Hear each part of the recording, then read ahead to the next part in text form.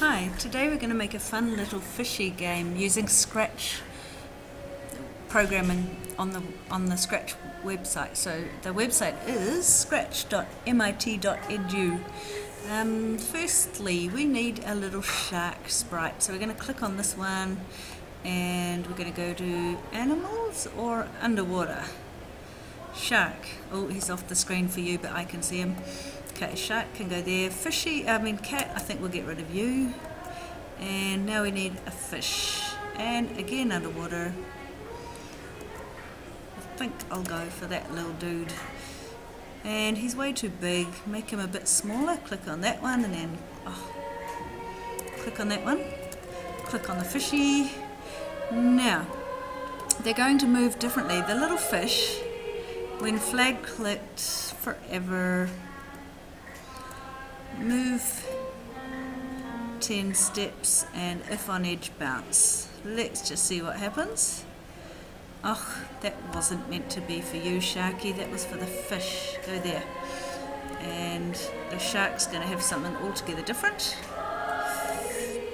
Okay, the fish is edge bounce. Oh, now also, I don't think I want the fish just to go side by side. I want it to swim in random directions. So I'm going to put a turn at the start of the game and it's going to turn a random amount. So pick random from 1 to 360 degrees, a full turn. Now what's it going to do? Oh yeah, okay, now I don't like it swimming upside down, so I'm going to right click on it, info, side to side, rotation type. Now it should just stay the right way up while it's swimming. Okay, back to the shark. Shark is going to forever point towards mouse pointer, so I'm going to drive the shark and move, I'll slow it down a bit to make the game a bit more challenging, five steps. Now what's the shark going to do? It's going to follow the mouse pointer, which is good except again, don't like it swimming upside down. Info, side to side, rotation style. Okay, now the shark is going to sort of chase the fish. So something's going to happen when he hits the fish. The shark has got two different costumes mouth, I mean three, but the two I want for now, mouth shut and mouth, mouth open. So I'm going to tell that shark when he touches the fish to open his mouth and then shut it again. But actually I'm going to use the fish to do this just because I think it will end up being simpler. So the fish is going to have another little script that says forever if touching shark. And that could be inside this forever loop. Uh, forever if touching shark oh yes okay. He's going to actually send a little signal. He's going to broadcast a signal and that signal is in dark orange. Broadcast a little signal and that signal is going to be called bite and no one can see, the game players can't see that, that's just, a, but I know, I, I've called it something, I know what it means. Now, the shark, when he receives that signal, he's going to open his mouth, and the way he does that, he changes to shark B. He starts off at shark A, changes to shark B. So I have to tell him to, in his looks, to, oh, at the start of the game, he's going to start off being shark A costume, and then when he receives that, he's going to switch to the mouth open costume and then he's going to wait oh, maybe like 0.2 of a second or maybe 0.1 of a second even and then he'll go back to shark A. So he's going to shut his mouth again once he's chomped on that little fishy Oh, he's opening his mouth. He's not opening it for long, is he? I could change the time, but actually, no, that's all right. Now, and sound is always a bit of fun. Let's have a sound. What have we got? We don't really um, have all that many there. We could give him some extra sounds, I suppose. What have we got? Oh, those aren't sounds. Oh, that's upload. Choose sound from library. Wow, wow, wow. Chomp. Okay. Let's just, okay, yep, that'll do us. Import chomp and go back to his scripts. He's not going to pop, he's going to chomp. Okay, push and play.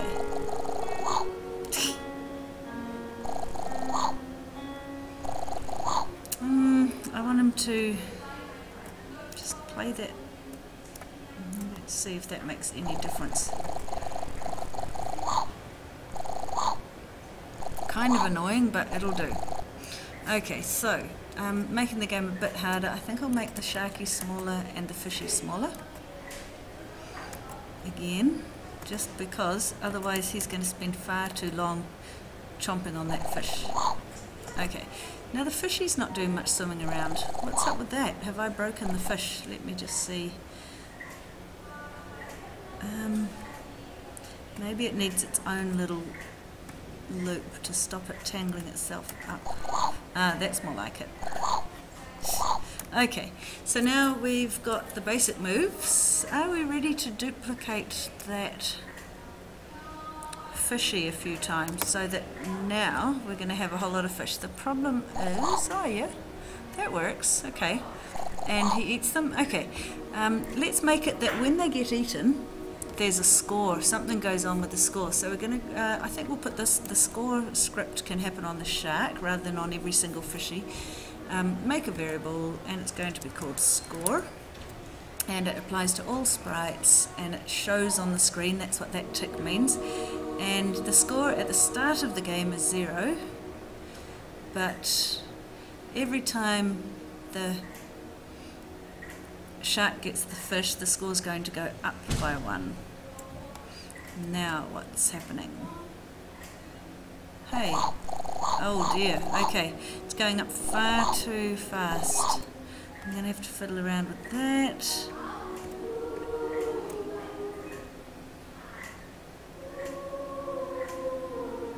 Maybe if I do it after that, it will fix it. That's more like it, that works. Oh, I'm not very good at this game, I'm not getting many fishies. Okay, now the score's going up. Oh, next thing I want the fish to disappear. Oh, that would have fixed the score problem as well. So now, back to the fishies. After its broadcaster's bite, it's going to hide. And then it's going to wait for one second and then it's going to show. And at the start of the game it needs to show. And I should have put that on before I did the rest of the fishies scripts because now I need to edit each one but I've got a cheats way of doing that. I'm dragging and dropping it onto the other two fishies and then I'm going to replace that one with the new one.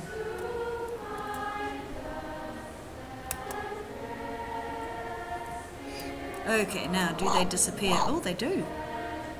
Nice. And they come back. Cool, and the score keeps going up, does it? Yes.